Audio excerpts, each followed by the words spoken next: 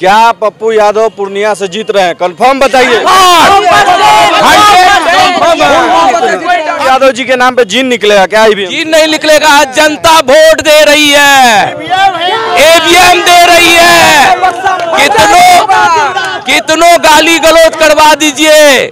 जो घर में जो घर में था जो लेडीज़ और मेरी माताएँ और बहन घर में था आप गाली गिलवा दिलवा रहे हैं। वो माता और बहन उस दिन बाहर निकलेगा और बतलाएगा कि पप्पू मेरा भाई है पप्पू मेरा बेटा है। समय आ रहा है। समय। लालू जी वही लालू जी आज आपने लाइव फुटेज का देख लिए होंगे। वही लालू जी फिर तो पलटी मारने के फेरा में है जान रहे हैं युवराज संकट में है। उसका राजनीतिक करियर संकट में डाल दिए हैं पप्पू यादव। चले तो पप्पू यादव को मिटाने। अब खुद कैसे बचेंगे?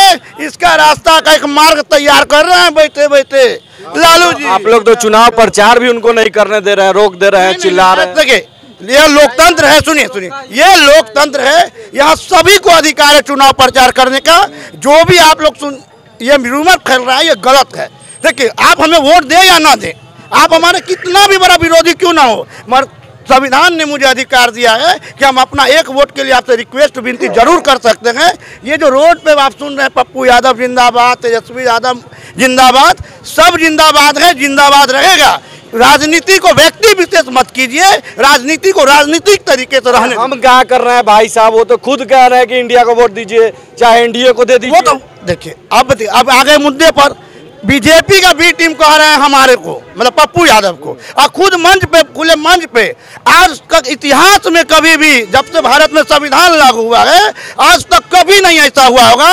कोई भी पार्टी अपने कैंडिडेट के अलावा दूसरे कैंडिडेट के खिलाफ वोट मांग ले भरी सभा में। वो चौधरी कह रहे हैं कि महागठबंधन वाले हार मान गए। हाँ तो महागठबंधन वाले तो हार मानेंगे ही पूर्णिया में। तो इसका मतलब संतोष कुशवाहा जीत रहे हैं तभी तो बोल रहे हैं ना। हम लोग तो निर्दलीय हैं भैया। हम तो हम महागठबंधन से हैं क्या? हम बीमा भारती आप लालटन में इंटरव्यू कर रहे हैं कि ती- कैंची में? यहाँ चलेगा कैची? यहाँ महागठबंधन हो यहाँ महागठबंधन हो या एनडीए हो सबको यहाँ से दुआ सलाम पप्पू यादव जिंदाबाद। जिसकी ज़रूरत उसके पास पलटू राम का क्या विश्वास? जिसकी ज़रूरत उसके पास पलटू राम का क्या विश्वास? चलेगा तो कैंची। आज आप आज आप कल तेजस्वी कल तेजस्वी का रोड शो देख लिए। तेजस्वी का रोड शो देख लिए। प्रजेंट मुख्यमंत्री का रोड शो पूर्णिया के धरती पे देख लिए। और आज एक निर्दलीय प्रत्याशी जिसको जनता ने अपना सिंबल देकर मैदान में उतारा उसकी काफिला को कवर करने में 500 मीडिया यहाँ पे अवेलेबल है। वो भी नहीं कर पाया। ये ताकत है जनता की पूर्णिया की जनता की जो हर मज़हब हर जात हर पात से उठकर पप्पू यादव को 543 सांसद के साथ न्यू बना हुआ सांसद क्षेत्र में पहुँचा रहे हैं और इसका आनंद उठाइए जय जयकार मंगाइए कि वैसा नेता इतिहास रचेगा। क्या पप्पू यादव पूर्णिया से जीत रहे हैं? कंफर्म बताइए। आप सुनिए सुनिए। आप आप सुनिए सुनिए। ये चीज़ देखिए साक्ष्य को प्रमाण की आवश्यकता नहीं है।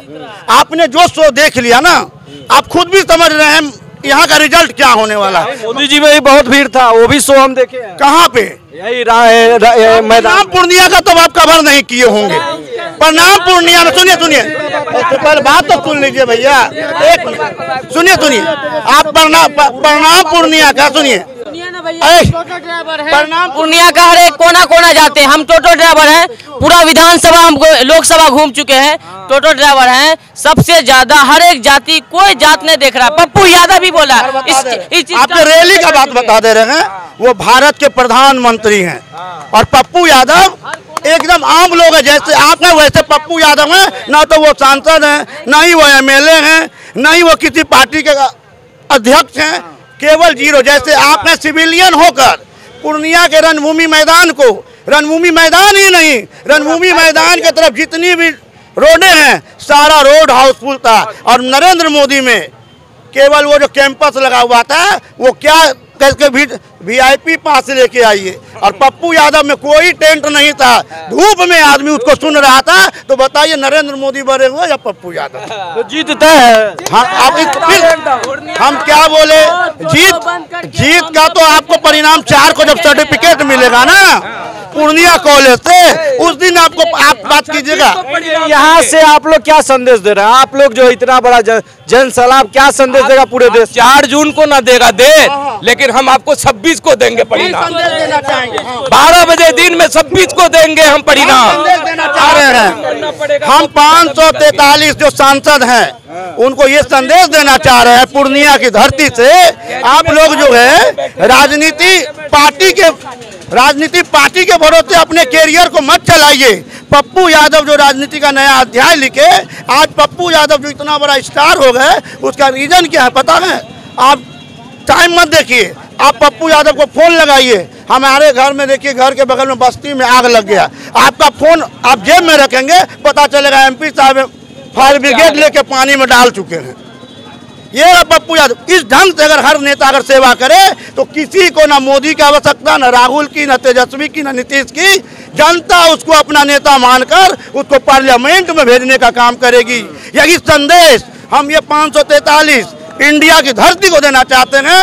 नेता की चापलूसी मत करो, जिससे पैर पकड़ के तुम लोग हज़ार करोड़ पाँच सौ करोड़ खर्च करके बड़ा बड़ा चुनावी सभा करते हो अपने क्षेत्र का गरीब को ताक लो उसको मदद करो तुम्हारे किसी के पास पैर पड़ने की आवश्यकता नहीं है यही संदेश पप्पू यादव पूरे देश को देना चाह रहे हैं। आज ये आज आज जेडीयू वाला को नीतीश कुमार जी का सहारा लेना पड़ रहा है। आज जेडीयू वाले को मोदी जी का सहारा लेना पड़ रहा है। लेकिन पप्पू जी को किसी का सहारा लेना नहीं पड़ रहा है। क्योंकि उनका हर आदमी पप्पू यादव है। यहाँ के हर कार्यकर्ता से लेके हर मतदाता पप्पू यादव है। और वोट देने के लिए जो जाएगा वो कहेगा कि मैं पप्पू यादव मैं दे रहा हूँ कैची साहब पर वोट। और 12 बजे दिन में मतलब पूर्णिया की जनता ही पप्पू यादव पप्पू यादव है टोटल पप्पू यादव है। यहाँ का चुनाव पप्पू यादव नहीं लड़ रहे हैं। पप्पू यादव को तो इन लोगों ने राजनीतिक हत्या कर दिया कुरुक्षेत्र में डालकर। यहाँ का तो पप्पू यादव अगर चुनाव लड़ेंगे अगर कोई नेता यहाँ से चुनाव लड़ेगा, तभी तो तेजस्वी इफ़ेक्ट होगा, मोदी इफ़ेक्ट होगा, नीतीश इफ़ेक्ट होगा। यहाँ का तो ये तेईस लाख वोटर खुद में पप्पू यादव है और खुद अपना चुनाव प्रचार स्वयं कर रहे हैं। ये पहला है सब लोकसभा क्षेत्र है, जहाँ इतना खर्च हो रहा है इस चुनाव में।